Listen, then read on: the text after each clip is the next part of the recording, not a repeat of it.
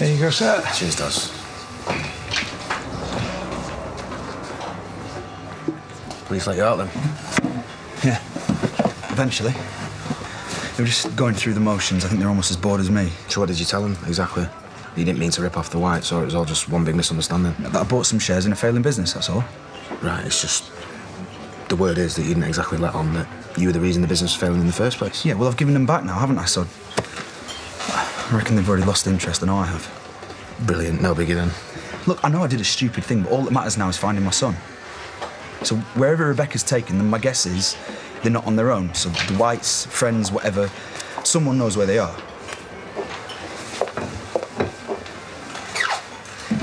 Tell me what I'm hearing isn't true. Well, depends on what you've heard. Arrested for fraud.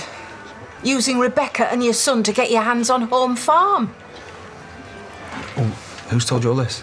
You didn't think it'd get around. Chrissie hasn't exactly been holding back. And neither's Lawrence for that matter. Did you think I'd be sympathetic? I'm so disappointed in you. You're a father now, for pity's sake.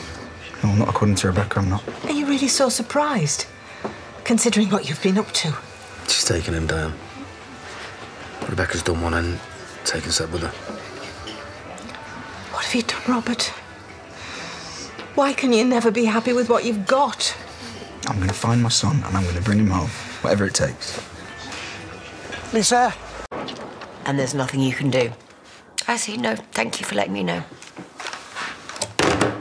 I take it that's more bad news. Just the police letting us know that they've released Robert without charge.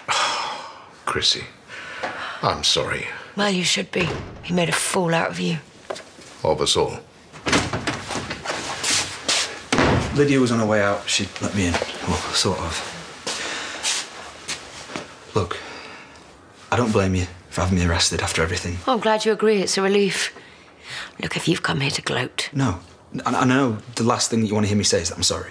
Yeah, because I wouldn't believe it for a second. But the truth is, is you got the shares back. And all that matters to me now is my son. So please, just just tell me where she's taken him. You won't find him, so don't even bother looking. What, you think I'm not going to track them down? No, I know you won't because we've made sure of it. Chrissie, you never knew your dad, your real dad. And now you're going to do the exact same thing to Seb. Do you know, it breaks my heart that I'm not going to see that little boy grow up. But knowing you would be the worst thing to ever happen to him makes it all bearable. Because you have all but torn this family apart. Chrissie, Can you just get him out of here, please? you heard her, Robert. Go. I deserve the fat lip, but please, please don't do this to me.